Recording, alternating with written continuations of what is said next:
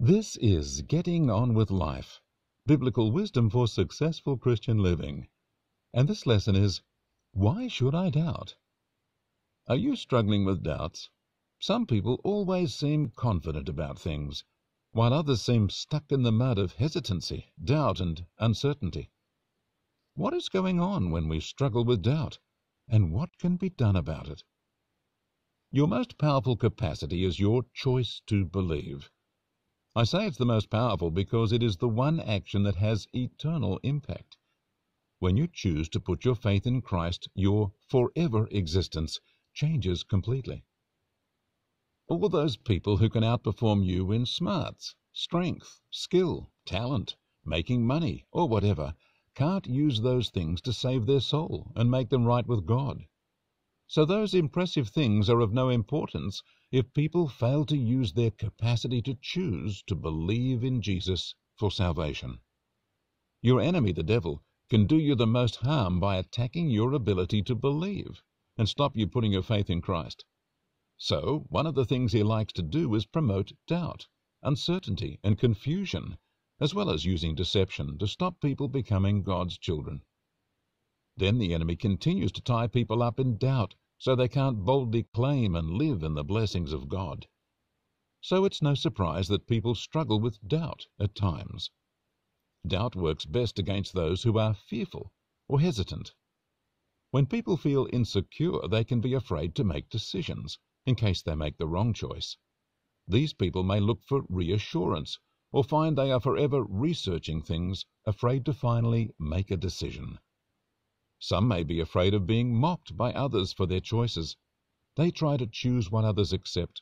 However, they might at the same time also have a sense they should believe in something others don't like.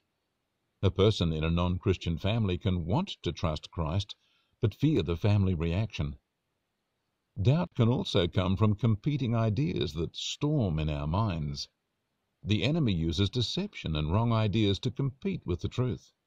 Truth sets us free while deception and lies lock us up.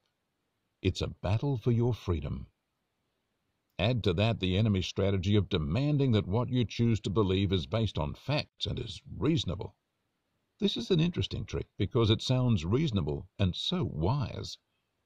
However, most of what you believe is not based on you knowing the facts, but you accepting the word of others.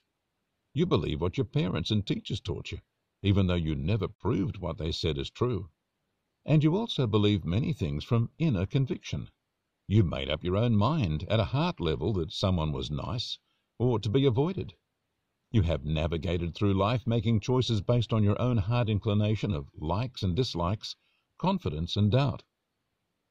Resolving doubt is not done by scientific research, but by using your will. All choices have to come back to your will, since that is where choices are made.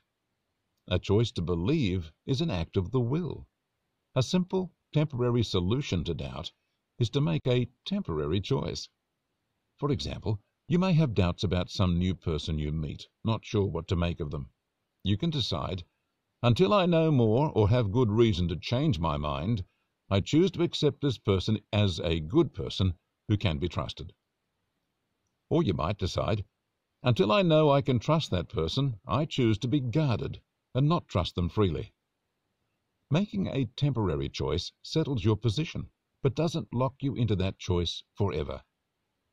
However, some things don't suit a temporary choice. Some decisions have such impact that a life-changing decision has to be made. Choice of career path, spouse, or whether to have another child are things we can't change our mind about easily. Decisions don't come with guarantees and there is an element of risk in all our choices.